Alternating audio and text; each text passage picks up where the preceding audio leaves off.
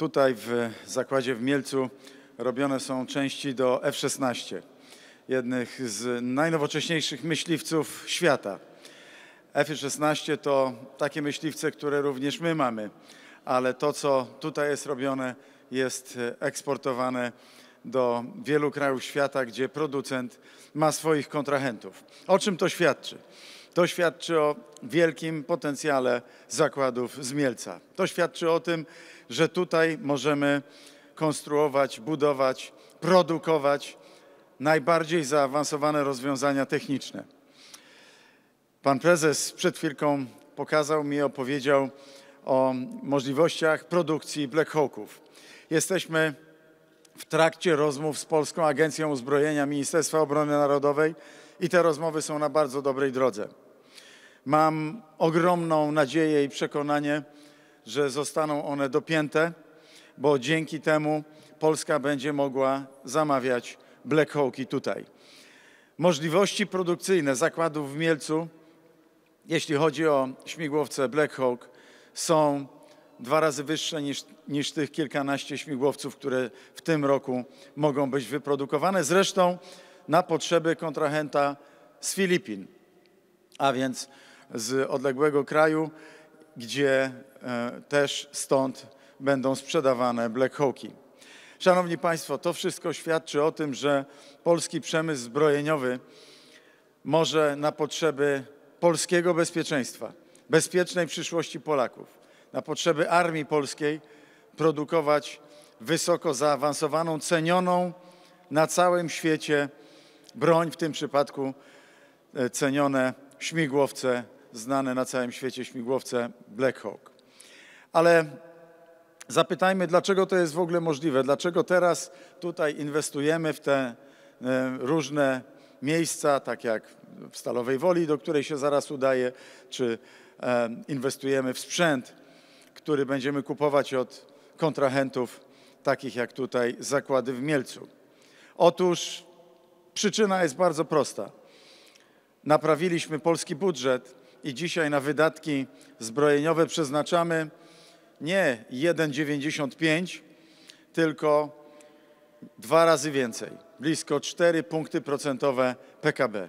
Szanowni Państwo, w proporcji do całej wielkości gospodarki, nie do liczb, nie do liczb bezwzględnych, jest to ogromny dodatkowy wysiłek, który jest możliwy dzięki temu, że budżet został naprawiony po tych naszych nieszczęsnych poprzednikach.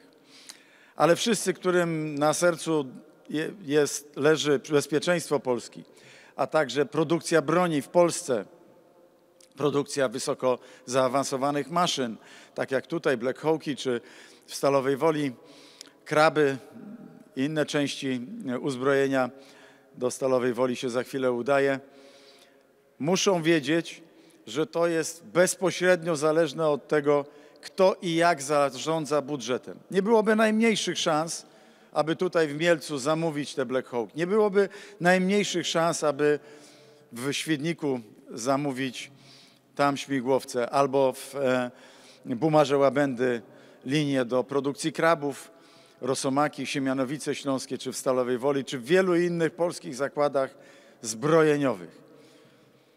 Z polskich zakładów zbrojeniowych pracownicy byli zwalniani jeszcze 10 lat temu. W Stalowej Woli znaczna część firmy zamieniona na e, produkcję, czy montownię, można powiedzieć, chińskich koparek. A w Gliwicach największe zwolnienia grupowe na Śląsku. Tutaj przed Mielcem też wierzę w to, otwierają się bardzo dobre perspektywy.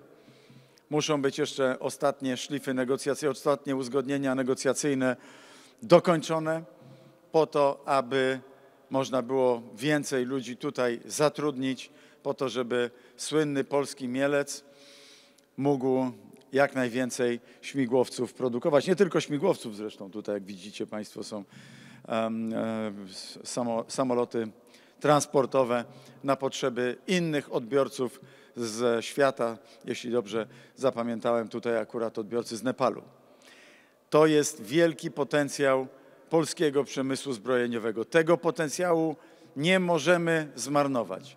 Pytanie, przed jakim stajemy za niespełna dwa tygodnie, czy Polska z własnymi zakładami zbrojeniowymi, które rosną w siłę, które, no, mogę powiedzieć, pięknieją również, bo widzę, że i ta hala jest naprawdę halą produkcyjną z prawdziwego zdarzenia na najwyższym poziomie.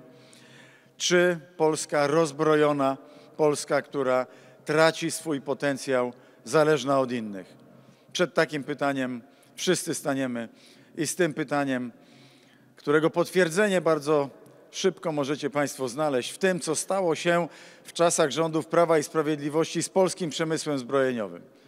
Zajrzyjcie pod dach każdego z zakładów zbrojeniowych. Tutaj w Dolinie Lotniczej, ale nie tylko, w różnych innych zakładach, o których wymieni, które wymieniłem, ale także Mesko, polskie pioruny, polska amunicja, Bydgoszcz, Poznań.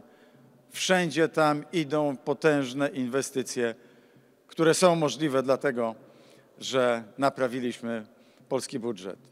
I oby nikt nigdy nie miał już więcej możliwości ponownie zepsuć ten budżet, tak jak to się stało w przeszłości, tak jak pokazuje to na liczbach, a ponieważ nie mogę się doczekać, nie mogę się doczekać pozwu w trybie wyborczym, to znaczy, że nasi konkurenci absolutnie akceptują tę liczbę, że stracili 262 miliardy złotych w ich czasie rządzenia w ramach luki VAT, która została wykazana w raportach PwC, w raportach Komisji Europejskiej.